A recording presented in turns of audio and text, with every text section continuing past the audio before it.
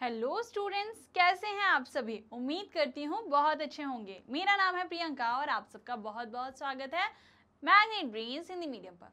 Magnet brains Hindi medium पर आपको मिलते हैं सिक्स से ट्वेल्थ क्लास तक के सभी विषयों के हाई क्वालिटी कंटेंट इसके साथ ही मैग्नेट ब्रेन्स हिंदी मीडियम आपको प्रोवाइड कराता है। ना सिर्फ़ सीबीएसई बोर्ड e बल्कि अदर स्टेट्स बोर्ड के भी फुल्ली ऑर्गेनाइज कोर्सेज और ये सभी कोर्सेज आपको मिलते हैं बिल्कुल फ्री ऑफ़ कॉस्ट मतलब कि आपको इसके लिए किसी भी तरह की कोई भी पेमेंट करने की ज़रूरत नहीं होती है। अगर आप हमसे ई नोट्स और ई बुक्स भी लेना चाहते हैं तो उसकी लिंक भी आपको नीचे दिए हुए डिस्क्रिप्शन बॉक्स में मिल जाएगी। तो चलिए इसी जानकारी के साथ शुरू करते हैं आज की क्लास तो आज हम क्या पढ़ेंगे? हम पढ़ेंगे हमारा पाठ आठ, जिसका नाम क्या है? जिसका नाम है पादप में जनन। और इस चैप्टर को हम स्टार्ट कर चुके हैं, ठीक है? इसका पाठ परिचय हमने देख लिया है। साथ ही एक टॉपिक भी हमने कवर कर लिया। अब कैसे कर लिया? चलो मैं बता देती हूँ। हम इस पाठ की बात करें तो हमने किया है इसका पार्ट परिचय, जिसमें हमने सारे टॉपिक्स के बारे में जान लिया है कि हम कौन कौन से टॉपिक पढ़ेंगे। अब टॉपिक क्या था? तो पहला टॉपिक तो हमारा यही है।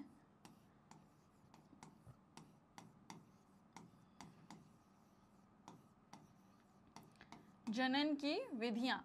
लेकिन इसका हमने क्या किया है? इसका हमने पार्ट वन किया है, जिसके अंदर हमने पढ़ा क्या है? इसके अंदर हमने पढ़ा है अलैंगिक जनन और अलैंगिक जनन के अंदर हमने क्या पढ़ा है? कायिक प्रवर्धन। ठीक है? तो ये टॉपिक हमने कर लिया है। ओके इतना हमने क्या किया है भाई? इतना हमने पढ़ लिया है। ज़्यादा डरने की ज़रूरत नहीं है कि हमारा बहुत कुछ छूट गया है क्या इस चैप्टर में? तो नहीं, आपका बहुत कुछ नहीं छूटा है इस चैप्टर में अभी। अभी भी आप इस चैप्टर को क्या कर सकते हो? कवर कर सकते हो। ज़्यादा कुछ नहीं है, आपको ये सारी चीज़ें देख लेनी है। अब देखो पार्ट आठ चल रहा है। इससे पहले के भी पार्ट हमने कर लिए हैं। जैसे बात करूँ one two three four five and six and seven ठीक है? ये चैप्टर्स जो है ना, इन चैप्टर्स को हम पढ़ चुके हैं, समझ चुके हैं। अब पूछोगे कि मैम कैसे पढ़ा है कुछ बच्चे हैं जो हमसे कंटिन्यू जुड़े हैं, उनको तो कोई दिक्कत नहीं है। उनको तो पता है कि ये चैप्टर हम किस सीक्वेंस में करते हैं। तो हम करते हैं पहले चैप्टर का एक्सप्लेनेशन पार्ट फिर हम करते हैं उस चैप्टर के जो एन e के सॉल्यूशन होते हैं, जो अभ्यास प्रश्न होते हैं, उनको फिर उन पार्ट से बनने वाले जो मल्टीपल चॉइस क्वेश्चंस होते हैं बहुविकल्पी प्रश्न होते हैं, हम उनको कर लेते हैं और फिर हम करते हैं उस पार्ट से बनने वाले मोस्ट इंपॉर्टेंट क्वेश्चंस को। और एंड में हम कर लेते हैं क्या? इस पूरे चैप्टर का वापस से रिवीजन ओके तो ये सीक्वेंस हम फॉलो करते हैं और इसी सीक्वेंस से हम चलते हैं। अब आपको कोई डाउट नहीं होना चाहिए। अब क्या होगा? कि अब जो है, इन पार्ट में से आपका कोई पार्ट छूट गया हो, ठीक है? फ़र्स्ट चैप्टर छूट गया हो थर्ड छूट गया हो, कोई भी। और जैसे कुछ बच्चे होते हैं जो बाद में हमसे जुड़े या आज ही कुछ हमसे जुड़े हैं तो उनके लिए भी क्या है कि भाई, हम अभी पार्ट हार्ट पे चल रहे हैं, अब इससे पहले के चैप्टर उन्हें चाहिए होंगे। तो ये सारे चैप्टर या ये कोई पार्ट छूट गया, या कोई टॉपिक छूट गया, अब ये जितने भी चैप्टर है ना, जैसे अभी हम पार्ट हार्ट के टॉपिक पढ़ रहे हैं तो कुछ इसी तरीके से इन पार्ट को भी हमने किया। एक एक टॉपिक के साथ टॉपिक के अंदर जो उनकी क्रियाकलाप है, उनको भी पढ़ रहे हैं। साथ ही जो कोई डायग्राम आ जाता है, कोई चित्र आ जाता है, हम उसको भी करते हैं, ठीक है? उसको भी समझते हैं। तो अगर आपका कोई भी पार्ट इनमें से कुछ भी छूट जाता है और आपको वापस से देखना है, अब जैसे कुछ बच्चों के साथ ये भी रहता है कि उनको डाउट भी आता है तो सोचते हैं एक बार और हम इस क्लास को देख लें, है ना? और कभी कभी क्या होता है नोट्स प्रिपेयर करने होते हैं, कोई चीज़ छूट गई हो तो आप क्या कर सकते हो इन सब चीज़ों के लिए? भाई, इसके लिए आपको करना क्या है, आपको जाना है प्ले पर। Magnet Brains Hindi medium channel की प्ले पर जाएँगे और प्ले पर आपको सारी चीज़ें मिल जाएँगी। बस आपको अपनी क्लास सर्च करनी है, अपना सब्जेक्ट ढूंढना है और सारी चीज़ें वहाँ पे काफ़ी अरेंज वे में आपको मिल जाएगी। अब इसके अलावा एक और बात करती हूँ कि क्या है, आप तो पढ़ ही रहे हो। आपको तो सारी चीज़ें मिल ही जा रही हैं, लेकिन आप दूसरों की भी हेल्प कर सकते हो। अगर आपके घर में कोई बड़े भाई बहन हैं या कोई छोटे हैं और या फिर आपकी ही क्लास के कोई हैं, जैसे कज़न्स होते हैं, कोई फ्रेंड है है ना? आस पड़ोस में कोई बच्चा रहता है तो आप क्या कर सकते हो कि अगर कोई भी आपके आसपास में ऐसे सिक्स से ट्वेल्थ क्लास तक का कोई बच्चा दिखता है, ठीक है? तो उसको आप ये वीडियो शेयर कर सकते हैं। क्योंकि जब आप प्लेलिस्ट पे जाओगे, आप वहाँ देखोगे कि वहाँ पे सारी क्लासेस के वीडियोस आपको उपलब्ध रहेंगे। ठीक है? तो अगर आपके कोई बड़े भाई बहन है जो नाइन टेंथ में है या इलेवन ट्वेल्थ में है तो आपको अगर उनका कोई सब्जेक्ट दिखता है तो आप उनके साथ शेयर कर सकते हैं। ठीक है? अब इससे क्या होगा? इससे ये होगा कि उनको भी मैग्नेट ब्रेन्स हिंदी मीडियम के थ्रू क्या मिल सकता है? फ्री एजुकेशन मिल सकता है। समझ रहे हैं आप? क्योंकि यहाँ पे कोई पेमेंट तो करना नहीं पड़ता किसी भी चीज़ के लिए। आप तो ले ही रहे हो। साथ ही उनको भी फ्री एजुकेशन मिलेगा तो उनकी भी क्या होगी? हेल्प हो जाएगी। ओके ठीक है? क्लियर है? तो आप इस तरह से आप अपने भी चैप्टर्स फाइंड कर सकते हैं, दूसरों को भी बता सकते हैं। तो दूसरों के साथ भी क्या करिए? ज़्यादा से ज़्यादा शेयर करिए और उनकी पढ़ाई में हेल्प कीजिए। चलो भाई, अब हम चलते हैं कहाँ? अब हम चलते हैं अपने टॉपिक की तरफ़, जो कि क्या है? आज है, हम जनन की विधियों का पार्ट टू पढ़ने वाले हैं। ठीक है पार्ट वन हमने पढ़ लिया था, अलैंगिक जनन पढ़ रहे थे हम। उसके अंदर कुछ विधियाँ हैं, जिनमें से हमने एक विधि पढ़ ली थी, जो क्या थी? कायिक प्रवर्धन। ठीक है, अब हमें क्या पढ़ना है? अब हमें उसके आगे की भी कुछ विधियों को देखना है, जिनको हम पार्ट टू में कवर करने वाले हैं। तो चलो हम टॉपिक को शुरू करते हैं, लेकिन उससे पहले फटाफट से अपनी अटेंडेंस लगा दो भाई, है ना? रोज़ थोड़ी ना बोलना पड़ेगा। जल्दी जल्दी जितने बच्चे आ चुके हैं, फटाफट से अपनी अटेंडेंस लगा दो। और हाँ जितने बच्चे आज अपसेंट हैं तो उन सभी को भी बुला के लेके आना है, और उनको भी बोलो कि जल्दी से आएँ और प्रेजेंट लगाएँ। अब उनको आप बुलाओगे कैसे? भाई वीडियो को शेयर करो ना। तो अपने सभी दोस्तों के साथ इसे शेयर करो, सबको बुलाओ और जल्दी से बोलो कि लाइक करें आके और चैप्टर पढ़ना शुरू कर दें। ठीक है? चलो, बढ़ते हैं टॉपिक की तरफ़। अब हमारी सेकंड विधि जो है, वो क्या है? वो है मुकुलन। ठीक है? अब मुकुलन में क्या है? क्या होगा मुकुलन में? तो देखो, ये होता है बडिंग इसमें एक मुकुल निकलता है, एक बड निकलता है। तो इसको क्या बोलते हैं? और बडिंग भी बोलते हैं। ठीक है? अब इसमें क्या होगा? देखो सुनते जाना, फिर मैं समझ, समझाऊँगी भी तो पहले हम पढ़ लेते हैं, फिर समझा देती हूँ। यीस्ट, जिसे केवल सूक्ष्मदर्शी द्वारा ही देखा जा सकता है। क्यों? क्योंकि ये एक सूक्ष्म जीव है। ठीक है? यीस्ट क्या है? एक सूक्ष्म जीव है और बहुत छोटा होता है तो इसको केवल किसके माध्यम से देखा जा सकता है? सूक्ष्मदर्शी के द्वारा ही देखा जा सकता है। इनके लिए यदि पर्याप्त पोषण उपलब्ध हो तो यीस्ट कुछ ही घंटों में वृद्धि करके गुणन अर्थात जनन करने लगते हैं। अब क्या है ये जो पोषण है, इसकी आवश्यकता तो हम सबको होती है। हम पोषण, हम भोजन क्यों करते हैं? हम संतुलित आहार क्यों खाते हैं? हमें क्यों कहा जाता है कि हमें जंक फ़ूड नहीं खाना, हमें हेल्दी फूड्स खाने? क्यों बोला जाता है? क्या कभी सोचा है? क्योंकि हेल्दी फ़ूड से, संतुलित आहार से हमें क्या मिलता है? हमें पोषण मिलता है। और ये जो पोषण होता है ना, ये जो हमारे कार्य, हम बहुत सारे कार्य करते हैं, उन सभी कार्यों में क्या होता है? बहुत ज़्यादा हेल्पफुल हेल्प करता है। अब कैसे? कौन कौन से कार्य? तो जो मेन मुख्य कार्य है, हमारे शरीर जो हमारा शरीर करता है, जिसमें उसको ऊर्जा की आवश्यकता होती है, साथ ही उसे पोषण चाहिए होता है तो देखो, हम क्या करते हैं? हम अपने आप को स्वस्थ बनाए रखने के लिए भोजन करेंगे। अब भोजन से स्वस्थ होंगे क्योंकि हमको पोषण मिल जाएगा। ठीक है? साथ ही हमारा जो शरीर है, वो कुछ कार्य भी करता है। भोजन से हमें ऊर्जा भी मिलती है। अब वो ऊर्जा का प्रयोग वो कहाँ करेगा? वो उत्सर्जन करने में, पाचन करने में, श्वसन करने में, प्रजनन करने में। ठीक है? तो अब यहाँ पर क्या है? इसको अगर भोजन मिलेगा तो इसके भी शरीर में क्या आएगा? पोषण आएगा। यीस्ट जो है, इसको अगर पर्याप्त पोषण मिल जाए, इसका भोजन इसको मिल जाए तो ये क्या होगा? इसको पोषण मिलेगा, साथ ही इसमें भी ऊर्जा आएगी। और जब ये ऊर्जा आएगी तो ये क्या करेगा? ये अपने कार्यों को करना शुरू कर देगा। कैसे कार्य? जनन का कार्य शुरू कर देगा, क्योंकि उसके लिए भी तो इसे ऊर्जा की आवश्यकता है ना? तो इनके लिए अगर पर्याप्त पोषण होगा तो ये कुछ ही घंटों में, ज़्यादा समय नहीं लेंगे। कुछ ही घंटों में क्या करेंगे? वृद्धि कर लेंगे और अपने आप को बढ़ा लेंगे मतलब कि जनन की प्रक्रिया कर लेंगे। ठीक है? यीस्ट एक एकल कोशिका जीव है। अब यीस्ट कैसा है? ये एक एकल कोशिका एक कोशिकीय जीव है। यहाँ लिखा है ना, एक कोशिक तो एक कोशिक बोलेंगे, एकल कोशिका बोलेंगे, एक कोशिकीय बोलेंगे। इस तरह से, कई तरह से हम इसे बोल सकते हैं। तो क्या है ये? ये एक कोशिकीय जीव है, सिंगल सेल का जीव है। ठीक है? ओके? क्लियर है? यहाँ आप देख रहे हो, ये यीस्ट है। ठीक है? यीस्ट को ये कैसे दिखाया गया है? बहुत ज़्यादा जूम करके दिखाया गया है। ओके? आगे देखो। अब यीस्ट कैसे करता है? जनन कैसे करता है? तो यीस्ट कोशिका से बाहर निकलने वाले छोटे बल्ब जैसे प्रवर्ध मुकुल या कली कहलाता है। अब देखो, ये है यीस्ट कोशिका। ठीक है? अब क्या हो रहा है? इसमें विकसित होता मुकुल। इसमें एक बल्ब जैसा, एक बड जैसा कुछ क्या हो रहा है? प्रवर्धित हो रहा है, कुछ बढ़ रहा है है ना? तो इसको हम क्या बोलेंगे? इसको हम कहते हैं मुकुल। और मुकुल कहेंगे, मुकुल नहीं तो हम कली कहेंगे। समझ रहे हो आप? तो ये हम इसे कह सकते हैं।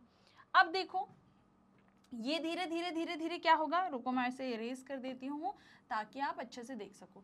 अब ये धीरे धीरे धीरे इस प्रकार से और ज़्यादा उसका शेप जो है ना, वो और अच्छा होता चला जाएगा। और फिर ये जो है, इस शरीर से ऐसे अलग हो जाएगा और इसके आगे आगे इस प्रकार से ये बनते चले जाएँगे। तो ये क्या है? ये इसका नवीन मुकुल है और ये पूरी उस मुकुल की श्रृंखला है। अभी हमने क्या बोला पढ़ा है? कि गुणन करते हैं। और जब कोई चीज़ गुणन करती है तो क्या बढ़ती जाती है? अगर मान लो मैं दो गुणा दो गुणा दो गुणा दो करूँ। अब गुणा तो मैं दो ही कर रही हूँ ना। लेकिन अब यहाँ पे इतने सारे दो गुणा गुणा हो गए। तो अब ये क्या बन जाएँगे? दो दूनी चार दूनी आठ दूनी सोलह। तो ये तो बन गए सोलह, है ना? तो ये क्या हुआ? यहाँ पे ये गुणन करते गए। और इन्होंने कितने? चार बार गुणन किया तो इन्होंने क्या बना दिया? यहाँ पे सोलह बना दिया। देख रहे हो ना? तो ऐसे ये क्या कर रहे हैं? ये गुणन कर रहे हैं। और गुणन करते जाएँगे तो इनकी संख्या में वृद्धि होती चली जाएगी। तो एक था, इससे और बने और बने। इस प्रकार से एक पूरी श्रृंखला बन जाती है। तो ये यीस्ट में मुकलन द्वारा क्या है? जनन दिखाया गया है। ओके? अब यहाँ पे हम देख लें तो क्या हो जाती है? मुकुल या कली कहलाता है। अब उस पार्ट को समझ गए, वो भाग क्या कहलाएगा? मुकुल या फिर कली। अब मुकुल क्या करेगा? ये क्रमशः वृद्धि करता है और जनक कोशिका से विलग होकर नई यीस्ट कोशिका बनाता है। अभी कंटिन्यू वृद्धि करता जाएगा। और ये जो जनन कोशिका है, इससे ये अलग हो जाएगा और कंटिन्यू क्या करता रहेगा? वृद्धि करता रहेगा और नई यीस्ट कोशिकाएँ बनाता रहेगा। नई ईस्ट कोशिका विकसित होकर परिपक्व हो जाती है और फिर नई ईस्ट कोशिकाएँ बनाती हैं। अब ये जो नई ईस्ट कोशिका बनी, वो फिर परिपक्व हो जाएगी। फिर वो क्या करेगी? फिर से वो नई ईस्ट कोशिका बनाएगी। और यही प्रक्रम चलता रहेगा, है ना? कभी कभी नवीन मुकुल से नए मुकुल विकसित हो जाते हैं, जिससे एक मुकुल श्रृंखला बन जाती है। अब क्या है? दो तरह के काम हो गए। इससे क्या हुआ? ये बना ठीक है? अब थोड़ी देर में ये जो है इससे अलग हो गया। अब क्या हुआ? ये वाला तो अलग हो गया। यहाँ पे अलग अलग हो गए। अब क्या होगा? इसमें से फिर से बनना शुरू हो जाएगा, है ना? ये फिर से क्या होगा? ऐसा कुछ शेप आने लगेगा। ये वाली तो अलग चली रही थी। ये वाला क्या होगा? फिर से ऐसा कुछ शेप आने लगेगा। और धीरे धीरे ये जो जनक से अलग होते जाएँगे नए नए बनते जाएँगे। अब इसमें भी मुकुलन शुरू हो जाएगा थोड़ी देर में। है ना? ये भी यहाँ पे क्या करने लगेगा? ये भी बल्ब बनाने लगेगा। तो इस तरह की प्रक्रिया चलने लगेगी और कभी कभी कैसी प्रक्रिया होती है कि कभी कभी तो एक में से ही कई सारे निकल आते हैं। तो ये क्या कहलाएगी? ये मुकुल श्रृंखला बन जाएगी। ठीक है? यदि ये प्रक्रम चलता रहे तो कुछ ही समय में बहुत अधिक संख्या में ये कोशिकाएँ बन जाती हैं। और ये जो कार्य हो रहा है ना, ये बहुत समय नहीं लग रहा। बहुत जल्दी जल्दी ये कार्य हो रहा है। ठीक है, ईस्ट में बहुत जल्दी जल्दी क्या होता है? गुणन के माध्यम से बहुत तेज़ी से जो जनन की प्रक्रिया है, वो होती है। तो कुछ ही घंटों में क्या होता है? बहुत सारी यीस्ट कोशिकाएँ बन जाती हैं। ठीक है, समझ आया यहाँ तक? किसी को कोई डाउट तो नहीं है? चलो भाई, आगे चलें। चल अब क्या आ जाती है? हमारे पास एक क्रियाकलाप आ जाती है। इस पाठ की ये तीसरी क्रियाकलाप है ठीक है? तो अब हम इसको करने वाले हैं। तो बताओ, मज़ा आ रहा है कि नहीं आ रहा है? मुकुलन जाना आपने? बडिंग क्या होती है? वो जो छोटा सा मुकुल है, उसे बड भी कहते हैं, ठीक है? तो ये नाम भी आप याद रखेंगे। अब हम इसी से रिलेटेड एक क्रियाकलाप देखते हैं। अच्छा यहाँ तक अगर सबको सब कुछ समझ आ गया है तो भाई फटाफट से एक बार जिसने लाइक नहीं किया है या जो बच्चे बाद में जुड़े हैं, फटाफट से लाइक कर दो, है ना? और अपने दोस्तों को शेयर करो ना। शेयर तो किया ही नहीं आपने। कहाँ हैं आपके बाकी फ्रेंड्स जल्दी से शेयर करो। अब इस क्रियाकलाप को कैसे करना है? देखो, पहले एक नोट दे दिया है कि शिक्षक शिक्षिका द्वारा प्रदर्शित किए जाने के लिए। ठीक है? यहाँ पर किसका रोल होगा? शिक्षक और शिक्षिका। जो भी हो, अगर आपके साइंस के टीचर शिक्षक हैं या शिक्षक, जो भी रहेंगे, उनके द्वारा, है ना? अब देखो, क्या करना है? बेकरी से यीस्ट केक अथवा केमिस्ट के दुकान से यीस्ट पाउडर खरीद लें। अब हमको करना क्या है? हमको या तो बेकरी से यीस्ट केक लेके आना है या फिर हम केमिस्ट की दुकान से क्या ले लेंगे, जो यीस्ट का पाउडर आता है। अब चुटकी भर यीस्ट लेकर इसे किसी ऐसे पात्र में रखें, जिसमें कुछ जल हो।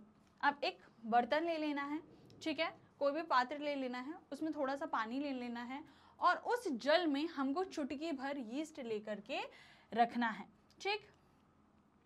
इसमें एक चम्मच शक्कर डालकर उसे जल में घोल लें। अब उसमें क्या डाल दें? हमने यीस्ट पाउडर पानी में डाल दिया अब हमें एक चम्मच शक्कर भी डालनी है और उन दोनों को क्या करना है? उन दोनों को घोल देना है। अब उस पात्र को किसी कमरे के गर्म भाग में रखें। अब ले जाके कहाँ रखना है? जिस जगह पे ठंडक कम हो। जिस जगह पे आपको ऐसा लगता है कि गर्मी ज़्यादा हो। मान लो कोई ऐसा कमरा है जहाँ पे सीधे खिड़की के द्वारा धूप आती है और धूप क्या करती है? कमरे को गर्म कर देती है। तो आप ऐसे किसी कमरे में या उसे ढक के धूप के पास भी रख सकते हैं ताकि उसको क्या मिले? गर्माहट मिले। एक घंटे के पश्चात पश्चात द्रव की एक बूंद कांच के स्लाइड पर रखकर सूक्ष्मदर्शी में देखें। अब क्या करना है? एक घंटे तक उसे वैसे ही रहने देना है। क्यों? क्योंकि यीस्ट जो है वो क्या करेगा? गुड़ज करेगा, है ना? जनन की प्रक्रिया करेगा। तो आपको क्या करना है? एक घंटे तक रुकना है। रखे रहने देना है। फिर उसमें से एक बूंद निकालनी है एक घंटे बाद और उसको कांच के स्लाइड पे रखना है और उसको सूक्ष्मदर्शी में ले जा करके देखना है। ठीक है? आपको क्या दिखाई देता है? आप नई ईस्ट कोशिकाओं को देख सकते हैं। अब आपको क्या दिखाई देगा? आपको उसमें नई ईस्ट कोशिकाएँ दिखेंगी कि एक ईस्ट कोशिका के साथ साथ कई और भी ईस्ट कोशिकाएँ दिखाई दे रही होंगी। है ना? जबकि हमने क्या रखा था? हमने चुटकी भर ईस्ट पाउडर रखा था। तो बनना तो इतना सारा नहीं चाहिए। लेकिन जब आप वो एक बूंद पानी, है ना? आपने पानी इतना सारा लिया, उसमें से एक बूंद शक्कर भी तो था। ठीक है? अब क्या है? आपने मुझे एक बूंद पानी लिया, उसमें कई सारी यीस्ट कोशिकाएँ दिखेंगी। तो ये क्या हुआ? उस चुटकी भर यीस्ट पाउडर ने क्या किया? शक्कर के साथ और गर्माहट मिलने पर क्या किया उसने? उसने वहाँ पर जनन किया, ठीक है? और जनन के बाद क्या हुआ? उसमें गुणज हुआ और उसकी संख्या क्या हो गई? बहुत सारी हो गई। तो इस प्रकार से यीस्ट में क्या होता है? यीस्ट में जनन होता है। किसके द्वारा? मुकुलन के द्वारा, ठीक है? अब नेक्स्ट हम क्या देखेंगे? नेक्स्ट हम देखेंगे खंडन ठीक है? अब खंडन के द्वारा किस प्रकार से किस चीज़ में खंडन के द्वारा क्या होता है? जो जनन होता है वो होता है तो चलो वो देखते हैं कैसे होता है। यहाँ पे वहाँ पे हमने किसकी बात की थी? आ, वहाँ पे हमने यीस्ट की बात बात की थी है ना? मुकुलन में हमने यीस्ट की बात की थी और खंडन में अब हम किसकी बात करेंगे? हम शैवाल की बात करेंगे। तो शैवाल को जब जल और पोषक तत्व उपलब्ध होते हैं शैवाल जो है, उसको जब क्या क्या चीज़ें मिलती हैं? जल मिलता है, पोषक तत्व मिलते हैं। तो ये वृद्धि करते हैं और तेज़ी से खंडन द्वारा गुणन करते हैं। अब क्या है? भाई देखो, कोई भी कार्य है, उसके लिए ऊर्जा तो चाहिए। और जब अगर मान लो आपको बहुत दिनों तक खाना ना मिले, पानी भी ना मिले तो क्या आप चलने, उठने, बोलने के लायक रहेंगे? नहीं रहेंगे ना? तो इसी प्रकार से सभी जीवों में ऐसी चीज़ें होती हैं। अब जो शैवाल हैं, इनमें ये भी क्या है? ये भी एक प्रकार से सूक्ष्म जीव हैं। तब शैवाल जो है ना, इसको जब जल और पोषक तत्व तो दोनों अच्छी मात्रा में उपलब्ध होते हैं तो ये वृद्धि करना शुरू कर देते हैं। और क्या करते हैं? ये खंडन करते हैं। क्या करेंगे ये? खंडन करेंगे। शैवाल दो या अधिक खंडों में विखंडित हो जाते हैं। अब ये क्या करते हैं? या तो ये दो भागों में टूट जाएँगे, या फिर ये उससे भी ज़्यादा भागों में टूट जाते हैं। ये खंड अथवा टुकड़े नए जीवों में वृद्धि कर जाते हैं और ये जो खंड बनाता है, ये जो नए नए टुकड़े बनाता है, ये कोई टुकड़े ऐसे वैसे टुकड़े नहीं है कि फेंकने के लिए नहीं। ये क्या करते हैं? ये नए जीवों में वृद्धि कर देते हैं। ठीक है? अब देखो, ये प्रक्रम निरंतर चलता रहता है और कुछ ही समय में शैवाल एक बड़े क्षेत्र में फैल जाता है। अब भाई क्या है? इनका खंडन होता जाता है। एक शैवाल ने दो भाग बनाए। अब वो दो भाग भी थोड़ी देर में दो भाग बनाएँगे। फिर दो भाग और या तो दो से अधिक भी बनाते हैं। तो इस तरीके से फैलते जाते फैलते जाते हैं और कुछ ही समय में क्या होता है, जिस भी जगह पे शैवाल है, उसके आसपास आपको कई सारे शैवाल दिखाई देने लगते हैं।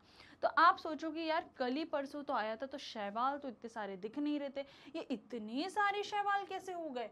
तो ये खंडन विधि के द्वारा जनन करते हैं और उससे ये अपनी संख्या को क्या करते हैं? बढ़ाते चले जाते हैं। ठीक है? समझ आया?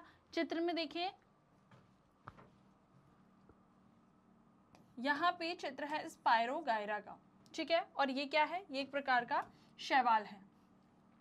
आप देखोगे, ये पूरा एक शैवाल था। इस शैवाल ने अपने आप को दो खंडों में विभक्त कर लिया। ठीक है? और यहाँ पे दो शैवाल बन गए। अब ये दो शैवाल भी बढ़ता चला जाएगा और साथ में ये भी क्या करेगा? अपने आप को दो भागों में विभाजित कर देगा। सेम प्रोसेस ये भी करेगा। ये भी अपने आप को आगे चल के बड़ा होते होते दो भागों में विभाजित कर लेगा। अब ये भी क्या करेगा? ये भी अपने आप को दो भागों में विभाजित करेगा। ये भी अपने आप को दो भागों में विभाजित करेगा। ये भी सेम प्रोसेस करेगा।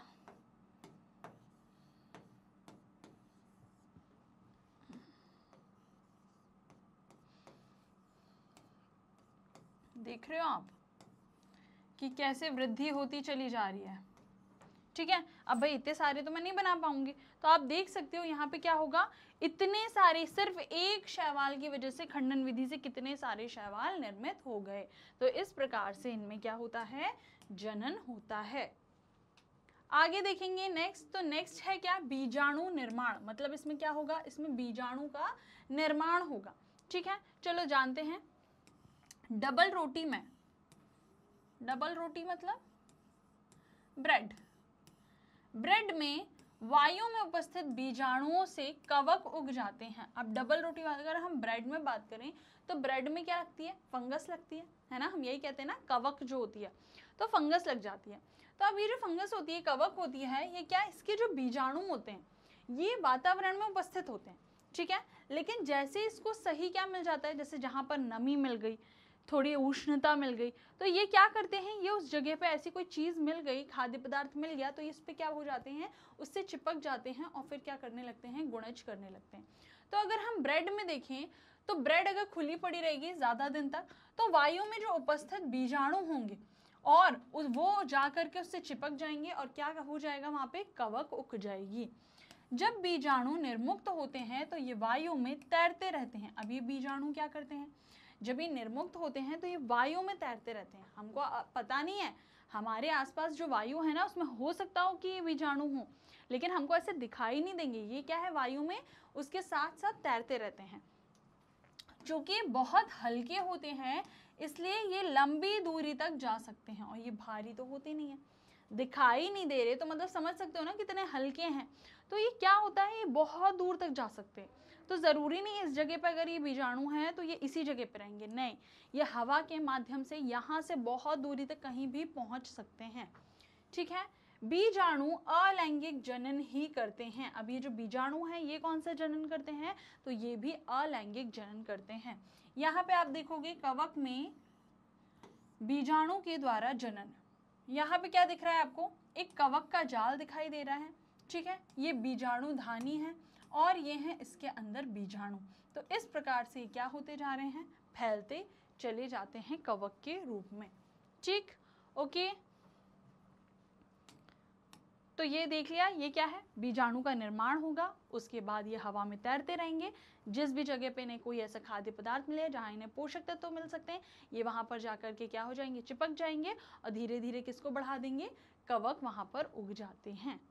ठीक? चलो। अब देखो, प्रत्येक बीजाणु उच्च ताप और निम्न आर्द्रता जैसी प्रतिकूल परिस्थितियों को झेलने के लिए एक कठोर सुरक्षात्मक आवरण से ढका रहता है। इसलिए ये लंबे समय तक जीवित रह सकते हैं। अब अगर हम बात करें इन बीजाणुओं की ना तो ये बीजाणु जो होते हैं ना, इनको नुकसान पहुंचाना बहुत मुश्किल है। क्यों? क्योंकि ये जो रहते हैं, ये बहुत अधिक अगर इन्हें उच्च ताप देंगे तो भी, और अगर इन्हें निम्न आर्द्रता मतलब कि उच्च ताप मतलब मैं यहाँ ऐसे सिंपल लैंग्वेज में लिख देती हूँ, बहुत गर्मी और बहुत ठंडी, ठीक है? ये दोनों ही परिस्थितियों में क्या है? जीवित रह सकते हैं। इसलिए क्या रहता है? इनका जो जीवन काल रहता है ना, वो काफ़ी लंबे समय तक रहता है। ठीक है? समझ रहे हो ना? अनुकूल परिस्थितियों में बीजाणु अंकुरित हो जाते हैं और नए जीव में विकसित हो जाते हैं। मैं क्या बोल रही हूँ? यही तो मैं बोल रही हूँ, जैसे इनको कहीं पे अनुकूल परिस्थिति दिखती है कि हाँ यहाँ पे क्या है? आर्द्रता है है ना? यहाँ पे नमी है या फिर यहाँ गर्मी है, यहाँ पे मैं पैदा हो सकता हूँ, रह सकता हूँ। तो जहाँ भी इन्हें अनुकूल परिस्थिति मिलती है, ये वहाँ पर जाकर के क्या हो जाते हैं? अंकुरित हो जाते हैं और क्या करते हैं? नए जीव में विकसित हो जाते हैं। ठीक है? मॉस और फर जैसे पादप में भी जनन बीजाणुओं के द्वारा होता है। अब अगर हम मॉस की बात करें, फर्न की बात करें, ये कुछ पौधे ऐसे हैं जो किसके द्वारा होते हैं? जो बीजाणुओं के द्वारा ही क्या करते हैं?